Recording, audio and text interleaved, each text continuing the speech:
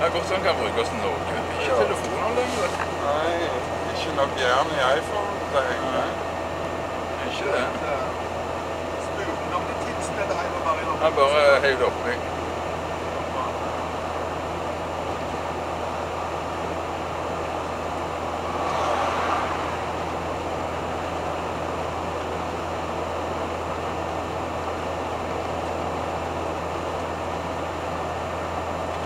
Sånn åtte mil til diket da? Du kan tippe på det er noe sånt, ja. Men er vi der alt sammen oppi i et husøy nå. Nei, nei. Dette er bare fra en av plassene. Nei, det er ikke fra det engang. Det Jeg er, synes det er så sinnssykt som om det er ett gram i den posen.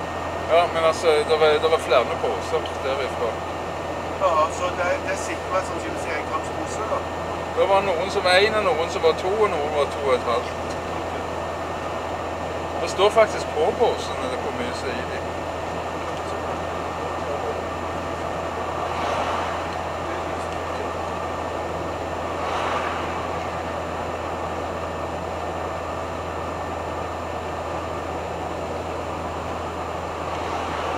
Det, det ser ut det står AN på den posen der.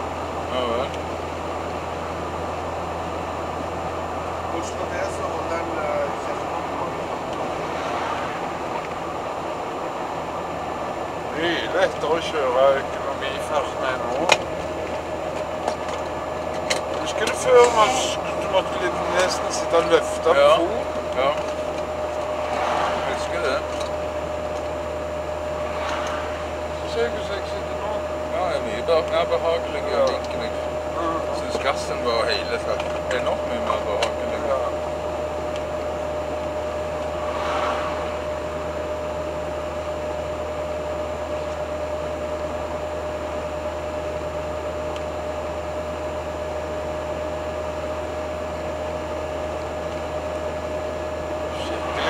Skikkelig ganja-fart, dette. Ja.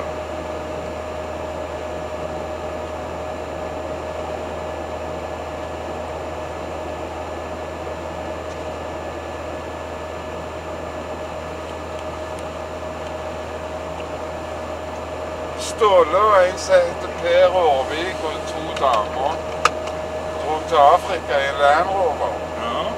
Og de fant han, Kapteinen da, Per, han fant ut at de måtte kjøre i 40 for at budsjettet skulle holde med bensin der på autobanen og gjennom. Hæ?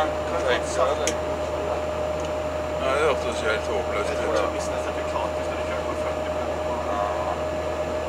Han har jo faen brukt bilen hjem fra Danmark en gang. ja. Det løyker seg på.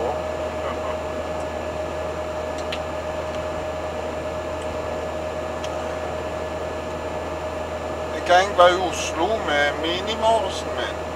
Så røyk eh, kløtsjen. Jeg hadde faen ikke penger til å reparere kløtsj, jeg, eller noe sånt. Så da lærte jeg meg å kjøre bil uten kløtsj. Ja. I krysset, og så ja. gira på rette totalet. mellomgass. Ja, jeg hørte på han,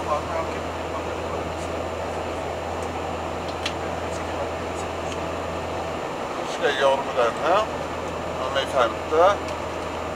Går jeg av gassen, napper kan ut av gir, så bruser kan litt. Nei.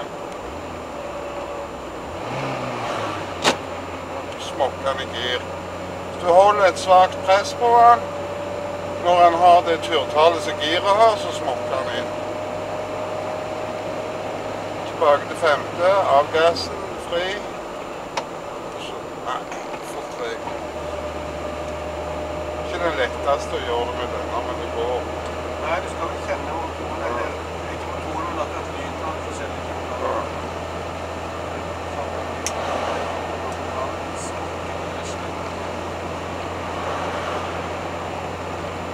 Det blir det samme som de gamle usynkroniserte girkassene. Ja. Nei, det blir ganske mørkt og håpløst sånn sett. Plutselig så skjer det en ulykke.